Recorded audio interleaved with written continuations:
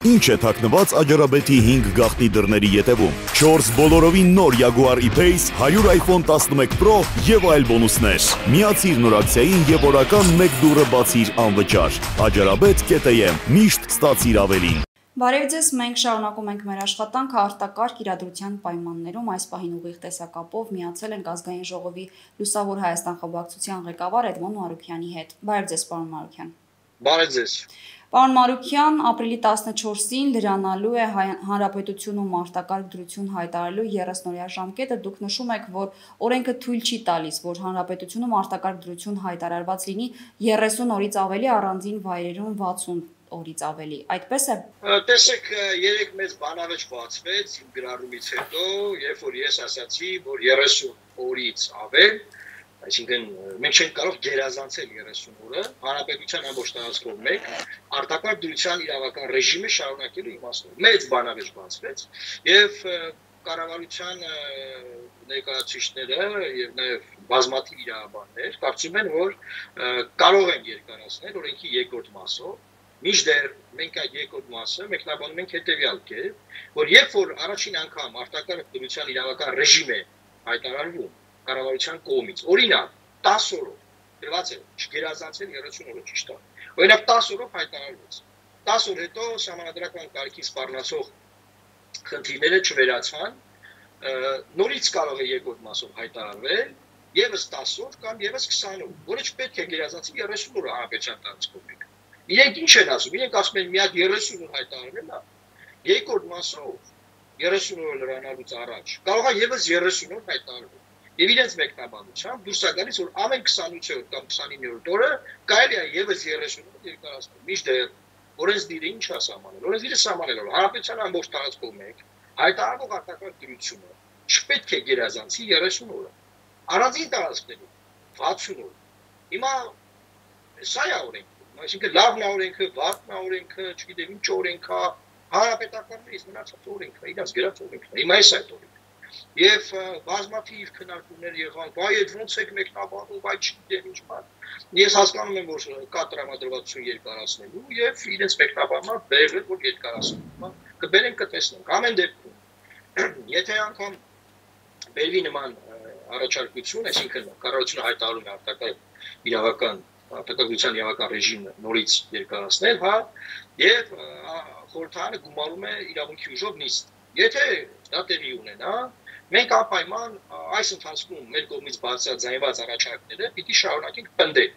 որ օրինակ, եթե համանախապակումները մենք շարունակում ենք, օրինակ բաց տարածքում շինարարությունները պետքա արտոնվեն, տնտեսական խանութները պետքա արտոնվեն, սպորտի խանութները պետք է արտոնվեն, թաղի փոքր կրպակները պետք է պետք է արտոնվեն, որովհետև եթե այդ փոքր կրպակները մենք փակում ենք, ոնց որ հիմա է,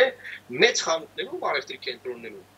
մեծ հերթեր են գոյում Ուրեմն թաղի փոքր կերպակները պետք է արտոնվեն, պետք է աշխատեն։ Բնականաբար այս իմ նշած ոլորտներում պետք է պահպանվեն, պահպանվեն, խստորեն պետք է պահպանվեն սանիտարահիգիենիկ բոլոր պայմանները։ Տրանսպորտը հանրային, մետրոն պետք է միանշանակ վերաբացվի։ Աշխարհի բոլոր են երկրներում, որտեղ օրը 600 մարդու մարդու մահուն են անգամ, մետրոն չի փակվում։ Որտեղ այն որ ասում հարուստ աղքատին մանր է փրթում է, այդ տպավորությունը մեր մոտ է միայն որ մարդկանց ակադ մարդկանց ասում են տաքսիով մանեք բայց դուք այդ մարդուն գիտեք տաքսի գումարը ասում տաքսիով մանեք եւ հետեւաբար պետք է հանրային տրանսպորտը եւս վերականգնվի որտեղ իմ նշած թվարկած ոլորտներում աշխատող մարդիկ հաստատ չեն կարող տաքսիով գնալ գործի ուղղակի չեն կարող եւ հիմա չեն կարող եւ էլի ոլորտներ կան օրինակ տեսեք անտրամաբանական բան հանքարդյունաբերությունը երկրում հենց հիմա թույլատրված է գործում հանքերը գործում։ Ասենք ԶՊՄԿ-ն գործում աչքի, մյուս հանքերը գործում։ Բայց այն բազմաբանական շենք է, որի մոտ որ ես օրինակ ուի եթեր արեցի, չգիտեմ, Ադոնցի վրայի վերածելու դավանը Երևանում շատ մարզերում են դրանք արգելված եւ մարդկանց բանվորները տանեն ստեցրել են գործատուն ասում է ես եկամուտ չունեմ, շահույթ չունեմ, գործ չեմ անում, չեմ կարող աշխատանք ստալ, բայց հրամանագրված պահել այս մարդկանց եւ այս մարդկանց հիմա ցոց պատետները չի վերաբերում, որտեղ հրամանագրված են։ Եվ հիմա հրամանագրվածների համար կասում սպասել, բայց չգիտեմ, այդտեղ չափանիշներ կա, որ էլի չոչ չափանիշ։ Հնարավոր է կրկին չհամընկնի։ Եվ զանգեր, զանգեր, զանգեր դիմումներ քաղաքացիներից, որ մարդը նկարագրում է իրավիճակ եւ ասում է, այս պատետները իմ վրա չի տալած։ SSS պատետների ISS չափանիշները ինձ վրա չի կարածվում։ Այսինքն եթե ապոփեմ այս հարցի պատասխան։ Եթե կգան եւ կերկարացնեն ապակարգ դրության իրավական ռեժիմը, մենք արդեն ունենք ցանկը, թե որ ոլորտները պետք է անպայման վերաբացվեն։ Բնականաբար դպրոցները, բուհերը, մանկապարտեզները, որոնք ըստ էության կրթության եւ գիտության նախարարի հրամանով են փակվել, կարող են փակ մնալ առանց արտակարգ դրության իրավական ռեժիմի նույնը կարելի է ժամանցի վայրերը կրկին էլի կարելի է ասել որ փակ պահել։ Այսինքն այն ինչ որ փակ պետք է պահել զանգվածային միջոցառումներ բանը, դրանք այո պիտի շարունակվեն փակ։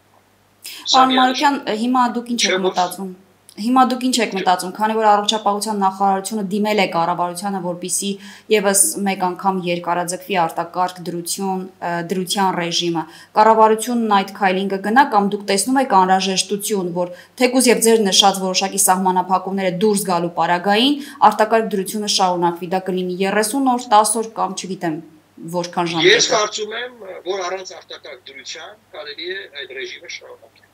Այսինքն առանց արտակարգ դրության կարելի է բուհերը փակ պահել, դպրոցները փակ պահել, մանկապարտեզները փակ պահել, ռեստորանները, սրճարանները, ժամանցի վայրերը փակ պահել, արևտրի մեծ կենտրոնները փակ պահել դեպս։ Այսինքն առանց արտակարգ դրության իրավական ռեժիմի։ Այդտեղ ինչ խնդիր կա։ Առանց փողոցներում մարդկանց դու գանելու օրինակ։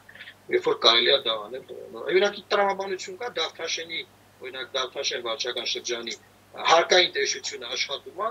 բայց այդ տարածքում գործող օրինակ շինարարությունները, տնտեսական խանութները փակ են։ Անգլիան բթերայինները մարդ են տուգանում։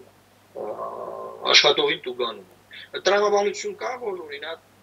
ԴՀԿ Նատական ակտերի հարկադրի կատարման ծառայությունը բռնագանձումներ է տարածում սերի ընթացքում։ Մարդկանց հաշիվների վարակելանքներ է դնում, հա, այդտեղած երկու կոպեկ գումարների վրա, բայց օրինակ, բայց օրինակ, չգիտեմ, ինչ որ շինանյութի խանութ փակա է մարդը չի կարող ներ գնել եւ իր տան մի հատ պատ ներկել այս օրերին, երբ որ ինքը ազատած չգիտի ինչ ան։ Գոնե մի գործ առաջ գցի եւ այդ խանութն էլ աշխատի, ինքն էլ աշխատի։ Այսինքն բաներ կա, որ անտրամաբանական են արված եւ պետք է բերել տրամաբանության դաշտ բոլոր տեսակի սահմանապահումները։ Հարկ ու պատիվ մեր բժիշկներին, մեր առողջապահության համակարգի աշխատողներին, որ նրանք այսօր առաջնագծում այսպես կոչված պայքարում են եւ այո, այդ պայքարը չի կարող ուղղակի շարունակվել է, ապահովել, եթե մենք չունենանք տնտեսություն։ Որ տնտեսություն չունեցան, այդ պայքարը ինչ մեթոդներով, ինչ միջոցներով են մղելու մարդը։ Եվ ես տեսնում եմ, որ մենք հիմա աղետի մեջ ենք մտել, արդեն տնտեսական աղետի ենք։ Եվ առողջապահական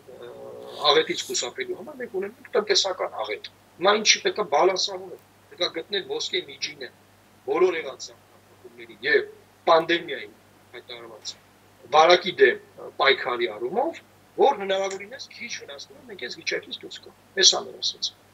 Եթե արտակարգ դրության ռեժիմի ժամանակ օրինակ մինչև ապրիլի 7-ը գրանցված թվերով 6982 քաղաքացի քաղաքացու նկատմամբ արձանագրություն է կատարվել որովհետև նրանք խախտել են կամ թերի են կատարել պարետի որոշումներ։ Ինչպես եք պատկերացնում, պարոն Մարուկյան, եթե արտակարգ դրության ռեժիմը դուրս գա, սահմանափակումները դուրս գան եւ այս դեպքում քաղաքացիները հետևեն որոշակի ցուցումների։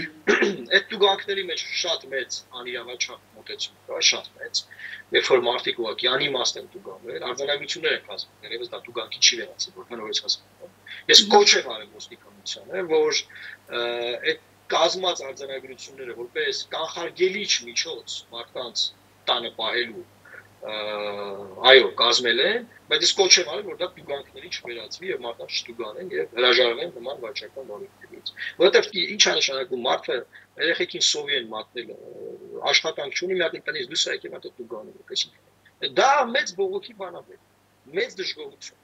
եւ դրա դեմը առնելը չի կարելի նման ձեւ վարվել չի կարելի մարդկանց դրության մեջ չմտնել այս տարբերակ չի, այսինքն մարդկա հիվանդ պետք է մարդից տեղափոխի Երևան, եւ ճանապարհ չեն թողնում։ Ասում պլանային բաներ, իրադություններ, բան չեն կողմում։ Մարդկա ասում պլանային չի եղել։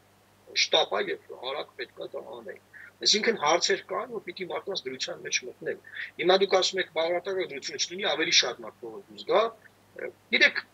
նրանք ովքեր կարիք են ունեցել դուրս գալու, դուրս են եկել, նրանք ովքեր կարողացել են տանը, նրանք մնացել են տանը ուզում արտակարգ դրությունը լիներ, ուզում չլիներ։ Բայց մարդիկ կան, որ ուղղակի պիտի աշխատանքի գնան։ Եվ նաև ես ասեմ, այդտեղ որոշումների մեծ մասը տրամաբանություն զուր կան։ մեծ խնդիրներ կա զինուշումի հետ կապված։ Ուղղակի արտակարգ դրության մեջ ենք ապրում, հիմա չենք դնելու ամեն մի որոշումը վիճարկենք պանետի, բայց բաներ կա որ անտրամաբանական արվում։ Եվ նաև դրա հետ կապված բազմաթիվ հարցեր կան, որ այն այլևս չի կարող նույն ոճով, նույն ձևով շարունակվել։ Հիմա օրենքը ինչ է թույլ տալու, եթե նույնիսկ կառավարությունը դիմի օրենսդիրին, որքան կարող է եւս երկարաձգվել այս արտակարգությունը։ Ընթացակարգը այդպեսին չէ, որ կառավարությունը դիմում է օրենսդիր։ Կառավարությունը ինչ է հայտարարում արտակարգ դրության իրավական ռեժիմի մասին եւ դրա ուժով խորհրդանը գումարում է նիստ։ Խորհրդանը կարող է չեղարկել այն, եթե նախագիծ դրվի շրջանցում չեղարկելու, կամ որոշ միջոցառումներ չեղարկելու։ Եվ եթե չի դրվում նախագիծ, այն ընդունում է իդիտություն։ Դե խորհրդանի դերը շատ սահմանափակ է սարում։ Եվ եթե կառավարությունը հայտարարում է օրինակ շարունակություն, օրենքը իր ձևով է մեկնաբանում օրինակ, մենք որևէ բան չենք կարող անել, որովհետև նույն կառավարությունը ունի սահմանադրական մեծամասնությունից էլ մեծ մեծամասնություն եւ իրանք եթե մենք նախագիծ էլ բերենք դա չեղարկելու կամ որոշ միջոցառումներ չեղարկելու, ինչ ես չեմ բացառում, որ որոշ միջոցառումներ չեղարկելու, մենք կարող ենք Օրինակ, եթե բաց տարածքում շինարարությունները շարունակեն արկելել, մենք անպայման կնախաձեռնենք այդ միջոցառումը չեղարկելու նախաձեռնություն։ Բայց այն արդյոք կստանա աջակցություն, այդ մեծամասնությունը, որը նույն կառավարության մեծամասնությունն է, կդակի թե օրինակ աջակցի, օրինակ տրամաբանության մեջ եղած ինչ որ սահմանափակումներ վերացնելու ես չգիտեմ, այսինքն պետք է սպասենք, տեսնենք կառավարությունը ինչ է առաջարկում, որից հետո մենք այդ մեր անելիքն ու ասելիք ասենք։ Պարոն Մարուկյան, վարչապետ Նիկոլ Փաշինյանը ԵԱՏՄ միջկառավարական խորհրդի նիստի ժամանակ հայտարարեց, որ իրավիճակը այս ամենով պայմանավորված վերահսկելի է։ 1 ժամ հետո առողջապահության նախարարը հայտարարում է, որ կորոնավիրուսի տարածմամբ իրավիճակը վերահսկողությունից դուրս է եկել։ Արդարության համար պետք է նշենք, որ հետո այս հայտարարությունից հետո նախարարությունը եւս մեկ հայտարարություն տարածեց, նշելով, որ շատ լրատվամիջոցներ ուղակի կոնտեքստից են կտրել նախարար Թորոսյանի ասածը, բայց այդուամենայնիվ հարցը չի դադարում հնչել ինչով է պայմանավորված, որ երկու բարձրաստիճան պաշտոնյայի հայտարարությունները միմյանց հակասում են եւ արդյոք Նիկոլ Փաշինյանն է անտեղի լավատես, թե Արսեն Թորոսյանը չափից դուրս հորետես։ Դուք ինչ եք կարծում։ Իրեք ես պետք է ասեմ, որ պետք է ամեն ինչ անել իրենք ներսում, դե մի թիմ են, այնպես անեն, որ իրենց հայտարարությունները համընկնեն այլապես մարդիկ սկսում են այդ հայտարարություններին անլուրջ վերաբերվել, որովհետև եթե երբ որ այդ հայտարարությունները ամեն օր փոխվում են, ոչ թե իրավիճակի բերումով, այլ ամեն օր փոխվում են ինչ-որ տարբեր առումներով, մեկը իասացի դա հակասում է։ Այս հարումով ես կարծում եմ, որ չպիտի առողջապահության նախարարության արված հայտարարությունները հակասեն վարչապետի հայտարարություններին։ Բարձա չէ, որ առողջապահության նախարարն է զեկույցում վարչապետին իրավիճակի վերաբերյալ։ Եվ եթե նրա զեկույցների հիման վրա վարչապետն ասում է, որ ամեն ինչ վերահսկելի է, ուրեմն ամեն ինչ վերահսկելի է։ Դրանից հետո նա չի կարող ասել, որ չէ վերահսկելի չէ։ Այդտեղ էլ է հարց առաջանում, որ երբ որ ասում են որ կորոնավիրուսը մեր վերահսկողությունից դուրս է եկել, բայց հերախոսներով տեղորոշման օրենքի իմաստը որն է, այսինքն մարդկանց ուզում եք տեղորոշեք կորոնավիրուսի տեղորոշման հետ կապված արդեն անվերահսկելի վիճակ է։ Բազմաթիվ հարցեր կան, հասկանում։ Ուղղակի արտակարգ դրության իրավական ռեժիմը նաև մեզ է զսպում, որ մենք, չգիտեմ, ասենք ամենա անհրաժեշտ եւ ամենա այս պահին հրատապ բաները, շատ բաներ կան էլի ասելիքներ, որոնք որ հիմա մենք չենք ասում, թողնում ենք որ հետո խոսենք դրա մասին։ Այս իրավիճակով, գիտեք, այս իրավիճակում պետք է բոլորս կարողանանք մեր գիտելիքը, մեր հմտությունները, մեր մոտեցումը, առաջարկությունները համախմբել եւ կարողանանք երկիրը այս վիճակից հանել։ Պարոն Մարուկյան, դրանա միտված մեր բոլոր առաջարկները Դուք ինչպես եք պատկերացնում, ինչ քայլերով է հնարավոր ի վերջո այս ամենից դուրս գալ, ինչպես է հնարավոր տնտեսությունը վերականգնել կամ որքանով հնարավոր կլինի տնտեսությունը վերականգնել, որովհետև ամենամեծ մտահոգությունը հենց այն է, թե ինչ է լինելու կորոնավիրուսի հետևանքով հետոն տնտեսության, սոցիալական, մարդկան սոցիալական դրության վիճակը։ Դե տնտեսության վերականգնման հետ կապված գիտեք շատ կարևոր հանգամանք կա։ Ես գրավոր դիմել եմ վարչապետին, առաջարկները խմբակցության առաջարկները ներկայացրել, առայն որ կառավարության կողմից ընդունված միջոցառումները չեն համապատասխանում իրավիճակի դրամատիզմին։ Այսինքն բյուջեն պետքա մեծ ծախսեր, հասկանում եք մեր բախտը բերել է, մենք մտել ենք ճգնաժամի մեջ, ունենալով մոտավորապես 370 միլիարդ դրամ փող։ Դրան գումարած պետական պարտքն էլ մենք կարող ենք ավելացնել և ուզեն չուզեն պետք է գնան դրան ավելացնել։ Այսինքն պետք է պետությունը մեծ ծախսեր անի, մեծ ծախսեր։ Իսկ դա կապիտալ շինարարություններն է։ Դա տնետուն կարիքավորներին ֆինանսական աջակցություն ցուցաբերելն է, որ կարող են մարտկացնել հիմա ոչ թե պետք է փող հավաքել նստել դրա վրա սпасել, ինչ անի։ Ա պետք է փողը ծախսել որ տնտեսությունը շնչի ինչը որ արվում է ամբողջ աշխարհում այսինքն մարդկանց գնողունակությունը բարձրացնել այս դեպքում անհատապես գումար տալով օգնել որպեսզի իրենք կարողանան գնողունակ մնալ այս ընթացքում։ Այո, եւ սովի չմատնվեն։ Այստեղ գնողունակ բառը մի քիչ ման, այսինքն գնողունակ կարող նշանակել մեկ ուզում մեքենա գնի։ Խոսքը ում նրա մասին, որ ոչ միայն պետքա մենք հիմա մտածենք, ասենք լավ փող ունենք, բայց եկեք այս փողը պահենք, տեսնենք ինչ ա լինում, ինչքան փողը պահենք, հա, այնքան ավելի շատ ենք խնդիրներ ունենալու։ Պետքա փողը սա ում փողն է, դա մի հատ հստակ է։ Ժողովրդի փող։ Մեր ժողովրդի, մեր երկրի փող մեր ժողովրդի փողը ահել են նեորվա համար կամ անցյալ տարվա կապիտալ շինարարությունները չեն իրականացրել եւ կուտակվել է։ Բախներս բերել են կապը։ Մենք փողը պետք է ճիշտ խելացի ձևի տնետուն հասցնել, որ մարդիկ կարողանան այս ընթացքում ապրել, ապրելու համար ծախսած փողը տնտեսություն մտնի, շրջանառվի եւ կարողանանք շնչել, կարողանանք պատի շնչել այս ընթացքում, գոյատևել որպես տնտեսություն, մինչև այս վիճակից դուրս գալ։ Բարձր վիճակից դուրս գալուց հետո էլ պետական պարտքերն է մեծանալու, որովհետև ոչ մի երկիր առանց պարտքը մեծացնելու չի կարողանալու այս վիճակից դուրս գալ։ Եվ դրան միտված ես ներկայացրել եմ առաջարկներ վարչապետին, որ իրավիճակի դրամատիզմին համահունչ միանշանակ պետք է պետական ծախսերը մեծանան այլ իմպակտ չունի։ Այ պարոն Մարկյան, տեսեք նշում եք, որ պետք է պետական ծախսերը մեծանան, բայց կառավարությունը վարչապետ ասում են, որ այս խնդիրը ինքն իրենով վտանգավոր է, որովհետև անորոշություն կա դրանում, այսինքն մենք չգիտենք, թե այն որքան է տևելու 1 ամիս, 2 ամիս, միգուցե 6 ամիս։ Դրանով պայմանավորված նաև հարց կա, ասում են, հնարավոր չէ այդ ամբողջ ծախսերը ունեցած փողը ծախսել 1 ամսվա, 2 ամսվա հերանեկարով։ Հնարավոր է, որ կամ պետք է մտածել, որ հնարավոր է սա շատ ավելի երկար ձգվի։ Չէ՞ կարծում, որ միգուցե սա է պատճառը, որ կառավարությունը շատ ավելի սահմանափակ քանակով է գումարը փորձում ծախսել կամ նպատակային ծախսել կա կարծիք, կա կարծիք, որ ընդհանրապես ոչ մի բան պետք չի ծախսել, պետք է փողի վրա նստել ու սպասել, բայց այդ ընթացքում ժողովուրդը սովյան տնտեսությունն էլ հողին է հավասարացվելու եւ դա պահել որ հետո կարողանաս թոշակ աշխատավարձ տալ ես պնդում եմ որ պետք է հիմա ծախսել ամեն մեծ եւ երբ որ պահը կգա որ մենք ունենանք խնդիր շարունակության համար բնականաբար պետությունը կարող է բարձրացնել պետական պարտքը մեծացնել եւ ուզենք չուզենք գնալու ենք այդ ճանապարհով բայց հարցը երբ կանես որքան ուշ անես, ինքան եւ դրամի փոխարժեքի խնդիր ես ունենալու եւ ժողովրդին այս վիճակում ուղղակի գոյատևելու, պահելու խնդիր ես ունենալու։ Եվ մեր տնտեսությունը պահպանելու խնդիր ես ունենալու։ Եթե համար պետքա չես կարող դու գումարերը անստել, սпасել թե ինչ անում, որ հետո տեսնես ինչ անես։ Դա շատ ուշ կարող լինել եւ կարող է բանը բանից ուղղակի անցածել։ Մենք բոլորներ ունենք, որ այլևս օրինակ չի վերականգնելու մոտարապես 1 տարի Որ ոլորտների մասին է խոսքը։ Օրինակ туриզմը եկեք լավ։ Հիմա ամառվա այդ երրորդ շրջանը պիտի ասենք туриստները գային Հայաստան, չէ՞։ Պարզա չէ, որ պանդեմիան մյուս ամսերով արդեն туриստներ չեն գալու Հայաստան։ Պարզա չէ, որ туриստները չեն գնալու դեռ ոչ մի տեղ։ Եվ այս առումով ուղղակի մտածել ապա մեր հյուրակները շարունակում են դատարկում։ Մեր ռեստորանները եթե բացվեն են շարունակում են դատարկում, որովհետև турист չի լինելու, եղած տեղի ժողովուրդները փող չունենալու որ գնա ռեստորան Պետրոսյանը շարունակում է դատարկ մնա։ Եվ սրա մասին է պետք։ Միջազգային շուկայում մոլիբդենի պղնձի գներն են ընկնում, չոր Հայաստանի պետական բյուջեի եւ Արցախի կամ բյուջեի մի մեծ հատվածը ծածկում։ Այսինքն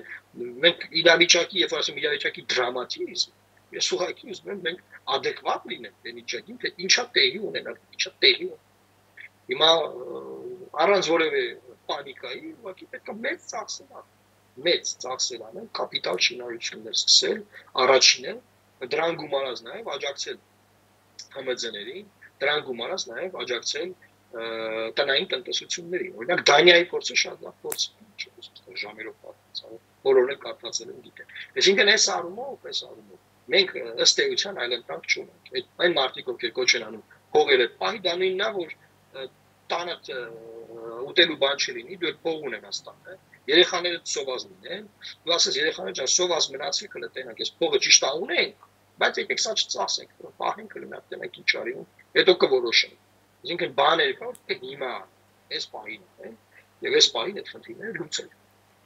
Պարոն Մանուկյան, արժույթի միջազգային հիմնադրամ կանխատեսում էր արել, որ մեծ ճգնաժամ է տնտեսական սպասում աշխարհին, որի նմանը չի եղել 1929-ից 30-ական թվականների մեծ ճգնաժամից ի վեր, եւ նաեւ կանխատեսումներ կան, որ լավագույն սցենարի դեպքում միայն տնտեսությունը կարող է այս ամենը հաղթահարել դեռ 2021 թվականին եւ սրան էլ գումարած ասում են, որ կապիտալի մեծ արտահոսք կա զարգացող երկրներից դեպի զարգացած երկրներ, իսկ մենք գիտենք, որ զարգացող երկիր ենք։ Երբ այս ամենի ֆոնին մեր պաշտոնատար անձինք հայտարարում են, որ այս ճգնաժամից կարող ենք լուրջ օգուտներ քաղել եւ առաջանցիկ աճ ապահովել, սա ինչպես է հնարավոր։ Երեք ես դուրս չեմ վերաբերում այդ հայտարարություններին եւ նաեւ նրան, որ սա նոր հնարավորություններ է դա абսուրդ է, ոչ մի նոր հնարավորություն ստիպչա։ Գոնե մեզ համար չի բացվել, միգուցե Չինաստանի համար բացվել է, կամ Հարավային Կորեայի կամ Սինգապուրի համար կարող բացվել։ Հայաստանի համար ըստ էության նոր հնարավորությունը դեռ չի բացվել, դա չի երեք։ Եվ դա պետք չի կապել ալկոգել արտադրելու հետ կամ դիմակ արտադրելու թարած։ Այն ինչ որ ասում է IMF-ը, ես կարծում դա շատ լավ է տեսակ ասում որ 21 թվականին կվերականգնվի։ Միացյալ Նահանգներում կանխատեսվում է մոտավորապես հնայի 35-ից 40% նվազում։ Դու դա պատկերացնում ես ինչը։ Այսինքն պետությունը համարյա կիսով չափ աղքատանալու է, որը ազդեցություն ունի ամբողջ համաշխարհային տնտեսության վրա։ Չինաստանը այս տարի, եթե չեմ սխալվում, պլյուս 8% աճ է նախատեսել, հիմա մինուս 28 է։ Այսինքն, գիտեք, բաներ կան, որ տենց ասելով չի, մենք չենք կարող ասել բանը։ Հեսա լավ կլինի։ Պետք է adekvat ռեալ ուսումնասիրությունների հիմա հրասարվի եւ երբ որ մենք նայում ենք Միացյալ Նահանգների ինչա կատարվում երեկվա դրությամբ մոտավորապես 16 միլիոնի էր հասնում արդեն գործազրկությունը այսինքն unemployment-ը որ report են անում քաղաքացիները ինչ ասել պետությունն ասել է բոլորը ովքեր որ գործազրկության հայտ կներկայացնեն պետությունը նրանց կաջակցի եւ գործատուները ովքեր որ չեն կարող ապարել հրամանում արդեն ազատել այդ մարդիկ պաշտոնապես անգործ գործազուրկ են նրանք սկսել են unemployment-ի այդ բանը լրացնել թիվը խայտարած ձեով աճում։ Մենք չգիտենք թե ինչ է լինելու, մենք չգիտենք թե դոլարի հետ ինչ կլինի, մենք չգիտենք թե համաշխարհային տնտեսությունը մեզ ցունամին վերջի, այդ ասեն մի տարում կվերականգնվի, սուղակի, սուղակի դա շատ լավ տեսական հայտարարություն է դա։ Շատ լավ տեսական։